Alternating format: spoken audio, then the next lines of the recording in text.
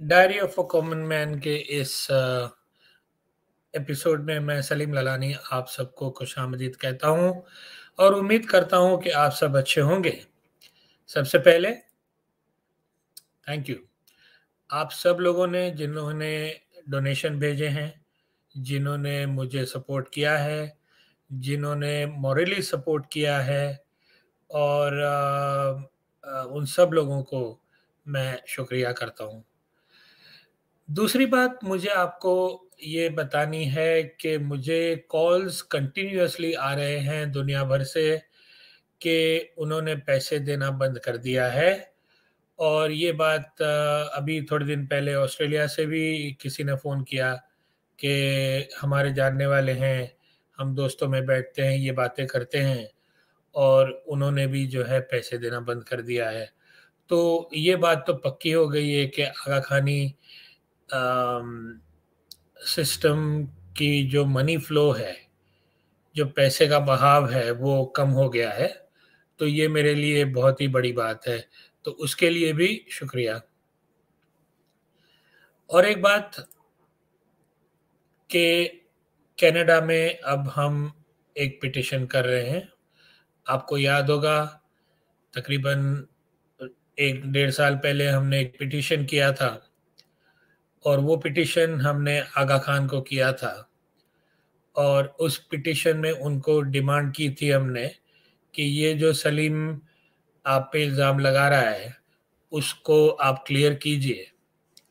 तो उन लोगों ने उसको इग्नोर करना बेहतर समझा और वो दूसरे अल्फाज में हम कहें तो वो सारे छुप गए। आगा खान भी छुप गया और उसके मुरीद भी छुप गए सारे। और वो अभी तक नहीं आया है सामने।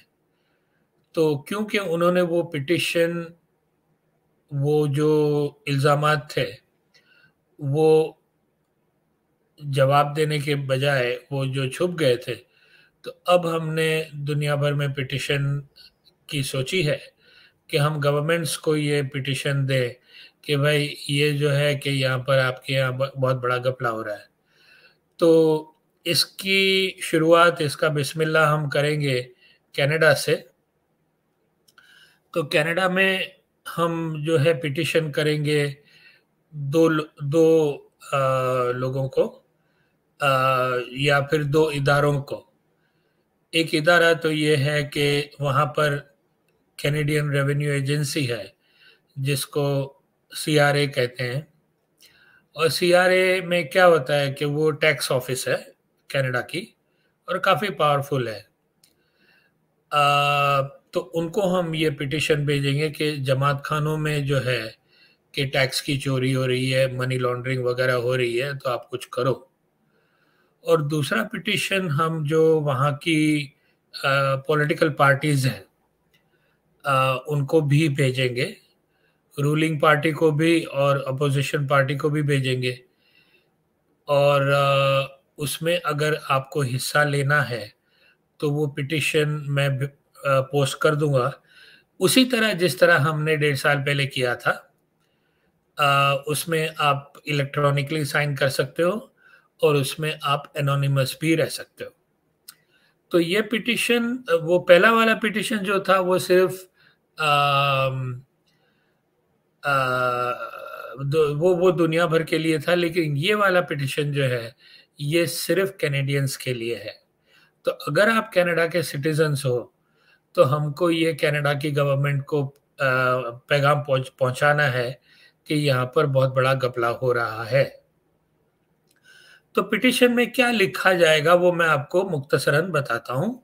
सिर्फ़ इतना ही कि हम जो है कैनेडियन सिटीज़न हैं। हमने सलीम लालानी की वीडियोस देखी है।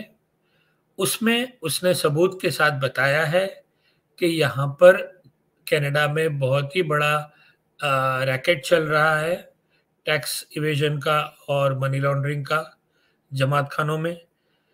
तो ये जो है कि आप इसके ऊपर थोड़ी तवज्जो दें। हमको हमको ये ठीक नहीं लग रहा है। बस इतना ही कह रहे हैं। हम किसी से लड़ाई नहीं कर रहे हैं, हम कुछ नहीं कर रहे हैं। ठीक है? अच्छा। तो ये अगर आप, आपको कोई सवाल हो इस पिटिशन के बारे में तो आप मुझे कांटेक्ट कर सकते हो। अच्छा तो अब जो है कि आज के मौजू पे हम आते हैं।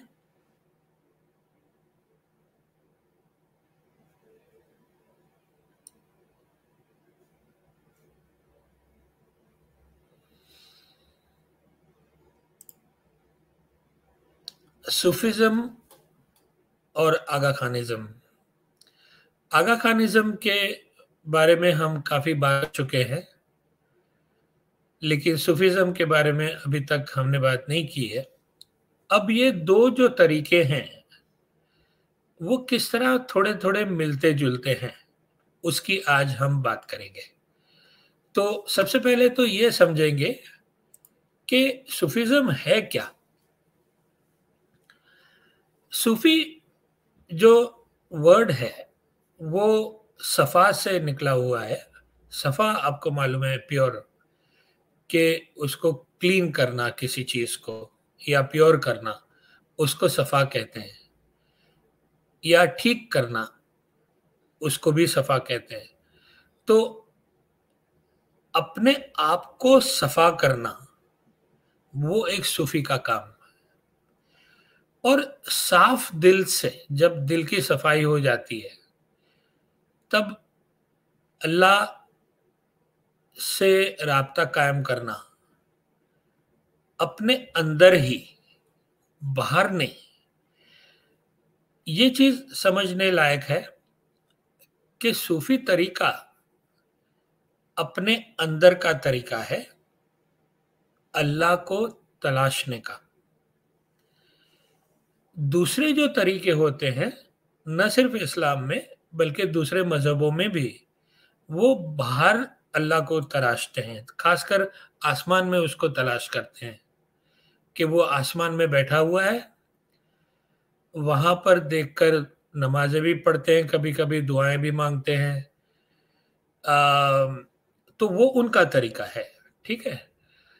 सूफियों का तरीका अंदरूनी तरीका है। तो वो किस तरह, उनके तरीके में क्या होता है, वो अभी थोड़ी देर में बात करेंगे। लेकिन उनका मकसद यही है, जो थोड़ा बहुत फ़र्क होता है दूसरे मजहबों से, वो फ़र्क ये है कि उनका जो गोल है, उनका जो ऑब्जेक्टिव है, वो ये है कि अल्लाह से एक होना है। ठीक है?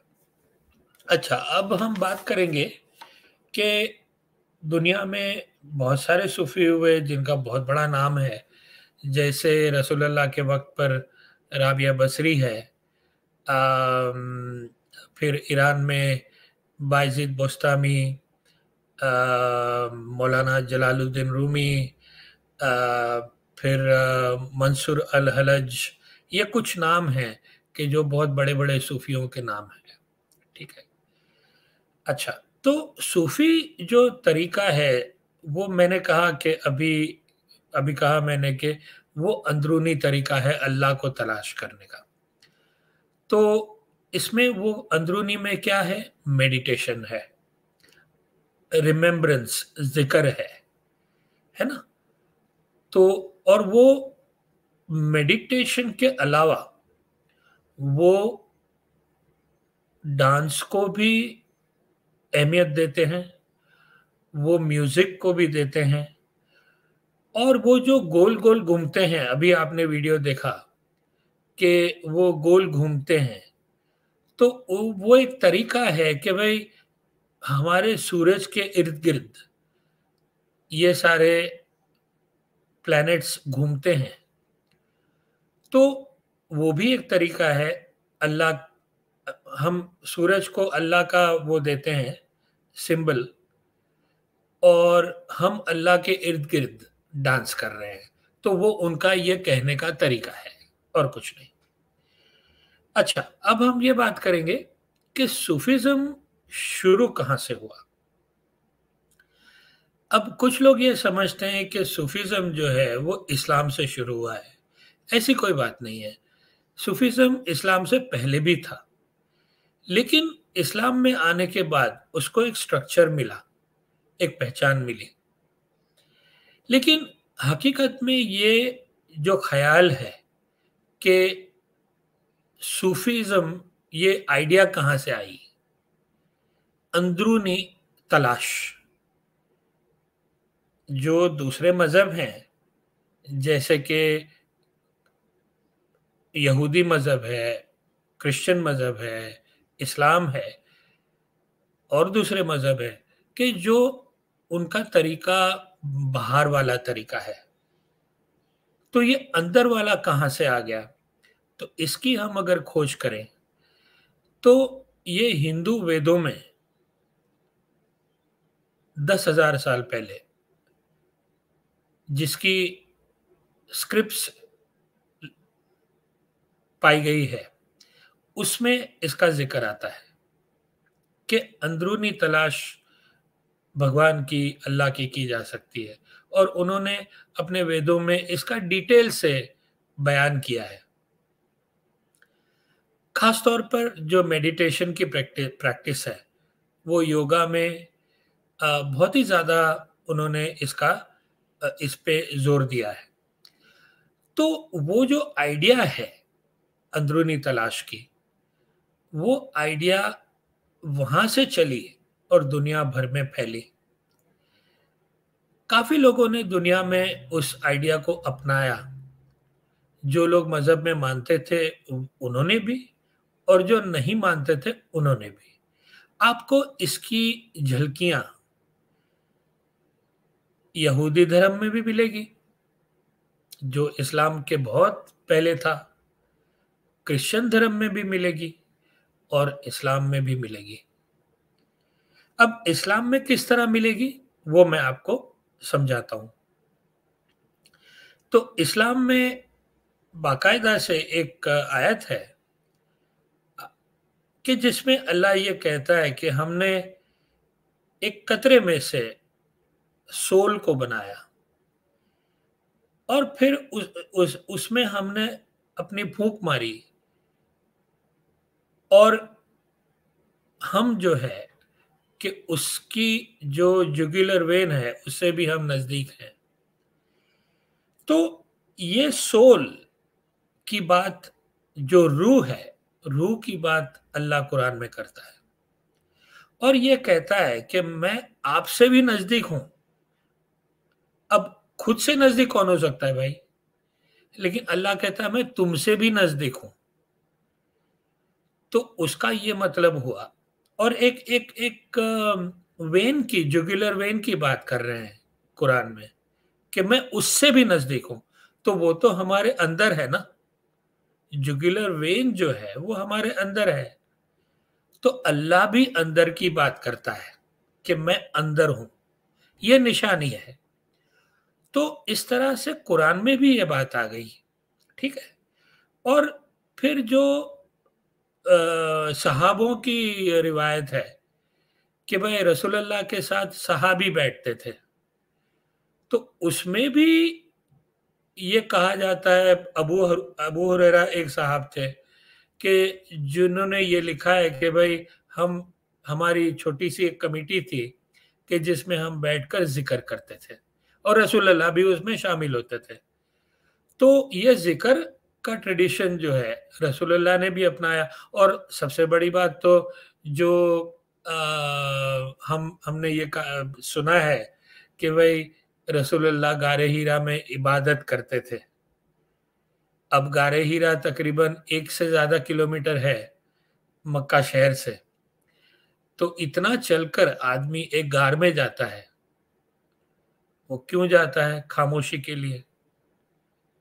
अकेलेपन के लिए, अल्लाह की याद करने के लिए, यही ज़िक्र है और यही अंदरूनी तलाश। तो उनकी ज़िंदगी में से भी हमको ये बातें मिलती है कि जो ये सूफी की बातें हैं। तो इस तरह से इस्लाम ने भी सूफीज़म की झलकियाँ आपको इस्लाम में भी मिलेगी, ठीक है? लेकिन अमूमन तौर पर यह देखा गया कि हम जब इस्लाम की बात करते हैं तो हम शिया और उसके फिरकों की बात करते हैं, सुन्नी और उसके फिरकों की बात करते हैं। तो अब सूफीज़म कहाँ आया? सुन्नी में आया कि शिया में आया? हकीकत में शुरू हुआ सुन्नी से। सुन्नी मुसलमानों से शुरू हुआ। और उसके बाद में जाकर ईरान में इसका बहुत ही नाम आगे बढ़ गया। और ईरान में जो सूफी हुए, जैसे मैंने अभी थोड़ी देर बताया कि बाजिद बोस्तामी है, मंसूरा लहलज है, मौलाना रूमी है, ये सब उस इलाके के लोग कि जिन्होंने बहुत ही बड़ा नाम बनाया सूफीज्म के अंदर। तो ऐसा नहीं है कि सूफी सिर्फ़ शिया हो सकता है या सुन्नी हो सकता है। सूफी कोई भी हो सकता है। सूफी इस्लाम को मानता है। ये बात आपको जानना बड़ा ज़रूरी है कि सूफी इस्लाम को मानता है। अच्छा लेकिन ये थोड़ी दुख की बात है, थोड़ी तकलीफ़ की बात है कि उनको हमेशा से प्रोसिक्यूट किया गया। परेशान किया गया। मुसलमानों की तरफ़ से, खासकर सुन्नी मुसलमानों की तरफ़ से। क्यों? क्योंकि कुछ लोग जो मुसलमान हैं, वो सिर्फ़ शरिया को समझते हैं। उसके बाहर कुछ भी होता है तो उसको वो हराम करार दे देते हैं। ठीक है? अब इसमें जो ये आइडियाज़ है अंदरूनी तलाश की आइडिया। ये नई चीज़ है उनके लिए। और ये जो कुरान की आयत मैंने आपको पढ़ के सुनाई उसका मतलब वो सुन्नी मुसलमान कुछ और निकालेंगे। ठीक है? और यही तो चीज़ है कि कुरान की जो आ, हम ट्रांसलेशन करते हैं उसको इंटरप्रेट जो है कई तरीकों से किया जा सकता है। अब ये सूफीज्म का टॉपिक है तो मुझे ऐसा लगा ये मे, मेरा ख्याल है कि अल्लाह ये कहता है कि मैं तुम्हारी नस से भी नज़दीक हूँ। अब नस अंदर होती है। तो वो इशारा दे रहा है कि अंदर तलाश करो बाहर नहीं हूँ मैं। मैं हर जगह हूँ। ठीक है? अब इसीलिए सूफी जो है उसको बाहर भी देखते हैं उसको अंदर भी देखते हैं। ठीक है ना? क्योंकि वो हर जगह है। अच्छा तो ये हो गया। अब सूफी की प्रैक्टिसेस क्या है? ये देखनी देखने की बात है कि और ये प्रैक्टिसेस जो हैं, वो आगा खानियों में भी है और ये ये जो आगा खानी में क्या हो रहा है और उसका आगा खानी के क्या मतलब निकालते हैं? और आगा खानियों ने ये क्यों इसको अपनाया? ये देखने वाली बात है।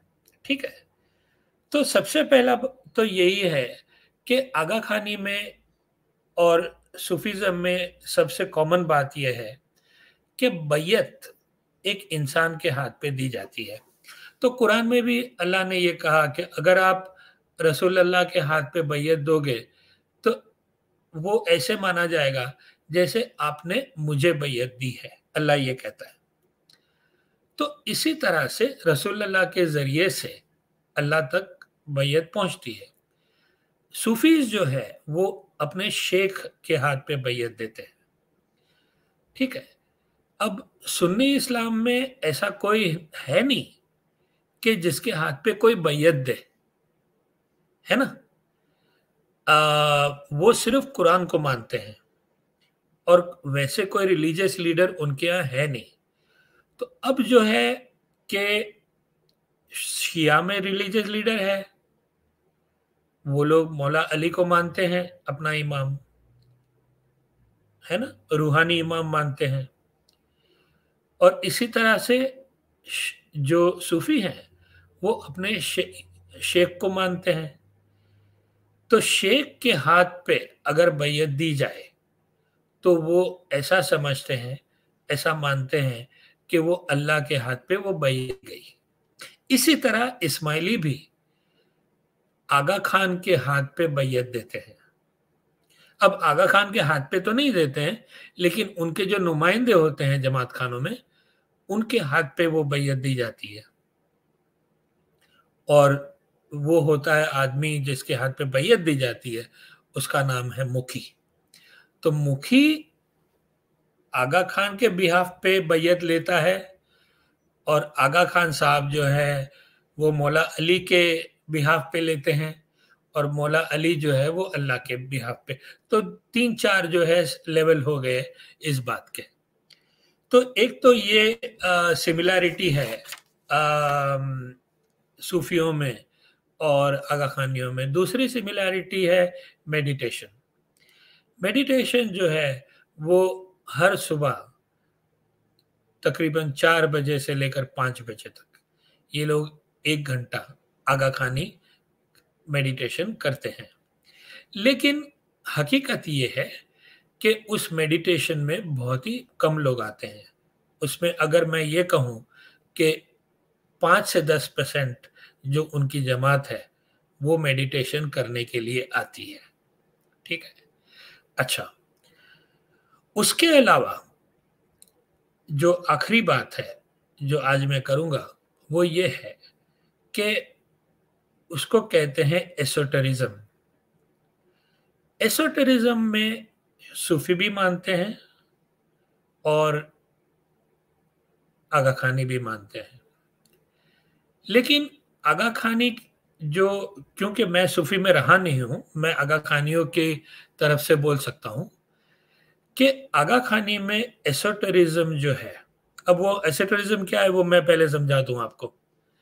तो जो बातिनी तरीका होता है, एक तो जाहिरी तरीका होता है, एक बातिनी तरीका। जाहिरी को हम एक्सोटरिज्म बोलते हैं, बातिनी को हम एसोटरिज्म बोलते हैं।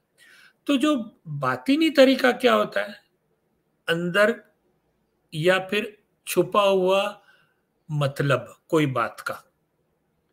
उसको बातिनी कहते हैं। कुछ चीज़ छुपी हुई होती है। ठीक है? जैसे मिसाल के तौर पे कुरान है। कुरान के दो मतलब निकाले जा सकते हैं। एक तो जाहिरी मतलब निकाला जा सकता है, एक तो बातिनी मतलब निकाला जा सकता है।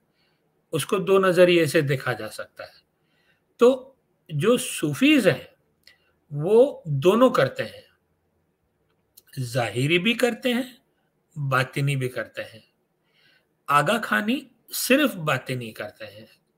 अब इसके अंदर आपको यह समझना बड़ा ज़रूरी है कि आप अगर जाहिरी नहीं करोगे और बातिनी ही करोगे तो फिर वो ऐसी बात हो जाएगी कि आप स्कूल में नहीं जाते हो, आप सीधा यूनिवर्सिटी में जाते हो। वो आगा खानी करते हैं। वो ये कहते हैं कि हम बातिनी लोग हैं। लेकिन ये बातिनी लोगों को अब इस्लाम तो दूर की बात है। अपने खुद के मज़हब के बारे में, अपनी दुआओं के बारे में उनके लीडरों तक को नहीं मालूम है। जो आगा खान के नुमाइंदे होते हैं या जो उनके रिलीजियस स्कूल में पढ़ाते हैं, उनको भी नहीं मालूम है। क्योंकि अगर उनको मालूम होता तो वो किसी बात का तो जवाब देते। किसी बात का तो देते। हमने तो जमात खानों में जाके पूछा, लीडरों से पूछा, हमने उनके अलवाइजों से पूछा, उनको भी नहीं मालूम है। तो अब उनको जो छोटी छोटी बातें हैं, उसका भी नहीं मालूम है। तो आप सोचिए कि उसको बातिन के बारे में क्या मालूम होगा, है कि नहीं? और अगर नहीं मालूम है और कहते हैं कि हम बातिनी लोग हैं तो धोखे के अलावा क्या है, ये बताइए मुझे आप। आप कोई भी आके मुझे बताइए कि भाई, क्या बात है ये, है कि नहीं? तो जैसे मैंने अपनी सीरीज़ में ये साबित करके दिखाया है कि आगा खानी सिस्टम में धोखे के अलावा बहुत कम है, बहुत ज़्यादा कम है। और सूफीज की आइडिया लेकर, ये बातिनी आइडिया लेकर जो ये ढोंग हो रहा है, वो आज मैं आपको सुना रहा हूँ कि बातिन आप नहीं पहुँच सकते हो ज़ाहिर का होना पहले ज़रूरी है। एक सीढ़ी है। आप सीढ़ी की दसवीं स्टेप पे पहले नहीं पहुंचोगे। सीढ़ी की पहली स्टेप आपको चढ़नी पड़ेगी, फिर दूसरी, फिर तीसरी। तो यही आज का मौजू है। सिर्फ़ दो कमेंट है आज, और उसको जल्दी जल्दी देख लेते हैं। Mohammed hello mister Lalani is been a long time to watch you not even know basic principles of Shia or Sunni, Sunni Sufism, I am a Shia uh, 12er. Sadruddin Nurali, please join us and uh, explain to us as to what do you know. Would you like to come? I don't know. Whatever I knew, I, I said. Now, if you wish to add anything, please join us. I'll, I'll put a link for you uh, in the comment section. Uh, please come. Because we've had a lot of people making that comment and